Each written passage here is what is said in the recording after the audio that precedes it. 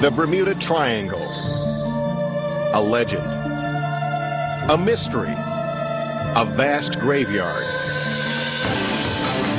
It is a place where ships and planes vanish for unexplained reasons. Hundreds of vessels gone without a trace, swept into oblivion. I don't understand how 23 men, nothing floats. I mean, not even a life jacket. Left behind, only disturbing questions. Those who do escape are haunted by memories that few believe, and I experienced a space-time warp. and none can explain. It was about 10 minutes of just the compass was spinning.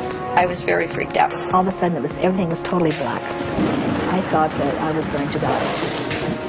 Theories have emerged. Geomagnetic